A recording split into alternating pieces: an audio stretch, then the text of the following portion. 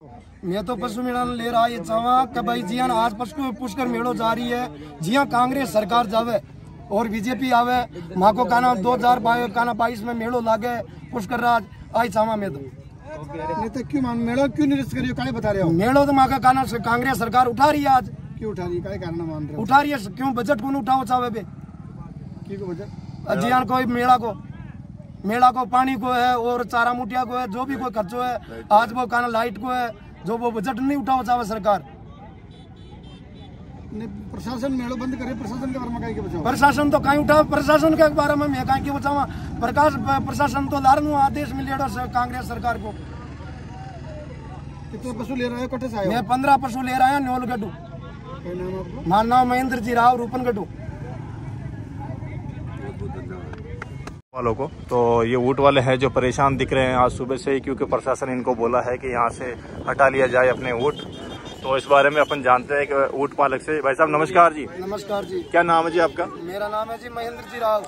महेंद्र जी? राव। राव कहाँ से आए हो आप? हम न्योलगढ़ से आ रहे हैं नवलगढ़ से। कितने ऊँट लेके आए हो पंद्रह पशु लेके आए पंद्रह पशु। हाँ जी। तो जो कल कब आए थे आप? कल परसों आए थे। अच्छा परसों आए थे। हाँ तो कल जो प्रशासन द्वारा यहाँ पे हटाने का आदेश किया गया है हाँ उस आदेश के लिए आप क्या कहना चाहोगे कि हम ये आदेश के लिए ये कहना चाहते हैं जी पशु मेला हमारा जो जो 2022 का मेला है ये पशु मेला ये लगना चाहिए। अच्छा। तो प्रशासन ने तो इसको मना कर दिया है। आज अखबार में आई है कि भाई हाँ, दस बजे तक प्रशासन ये कह रही है कि सुबह साढ़े दस बजे ये मेला उठना चाहिए। अच्छा। क्यों उठना चाहिए?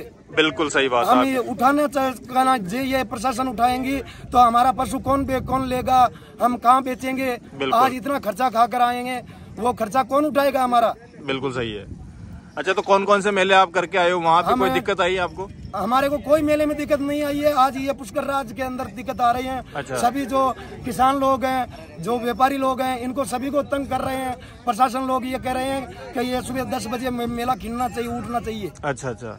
तो क्यों उठा रहे हैं? कारण कोई? ये कारण यही है कांग्रेस सरकार ये इस पुष्कर मेले का बजट नहीं उठाना चाहती है। अच्छा अच्छा। नहीं, मैंने सुना है जैसे ये लंपी की वजह से भी यह ये कोई लंपी की बीमारी नहीं है। ये अभी तक कोई लंपी की बीमारी नहीं पशुओं के अंदर। जे कोई कहना काना पशुओं के अंदर ये बीमारी है तो हमारे को कहना काना डॉक्टर ला के चेक कराइए। आप। बिल्कुल मतलब ऊँटों में नहीं है ये बीमारी। में नहीं है घोड़ों में नहीं है गायों में नहीं है कोई तरह की बीमारी नहीं है अभी तक। अच्छा। वो गायों में थी पहले वो अभी संपूर्ण हो चुकी। है तो उसके बावजूद भी आपको मतलब यहाँ से हाँ, उठाने का आदेश उठाना चाहती है सरकार। दे दिया है मतलब हाँ। है ना?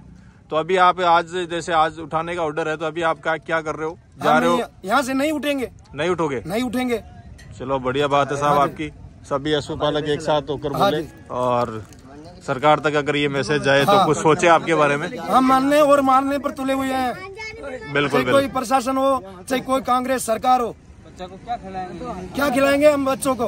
बिल्कुल सही आज कम से कम एक एक पशुओं के पीछे पाँच पाँच हज़ार रूपए खर्चा किए हुए हैं। वो है। खर्चों जब पशु हमारे नहीं बिकेंगे तब हमारे बच्चे क्या खाएँगे? क्या खाएँगे? सही है सही चलिए ठीक है साहब मैं यही कहना चाहता हूँ सरकार से कांग्रेस सरकार से हमारा पशु 2022 ये पुष्कर मेला लगना चाहिए। ठीक है साहब धन्यवाद धन्यवाद। आप- बहुत धन्यवाद आपका। तो इस तरीके से आप देख रहे हो ऊँट वालों का जो गुस्सा है अ, सरकार पर और प्रशासन दोनों पे है। अपने ऊँट लेकर ये वापस रवाना हो रहे हैं और इनकी ये भी है कि हम यहाँ से उठेंगे नहीं चाहे कुछ भी हो जाए। हमारा मेला है पुष्कर और हम इसमें आते हैं हर साल आते हैं। हम हमारे परिवार कैसे चलाएँ इनकी यही है। थैंक यू सभी दोस्तों का।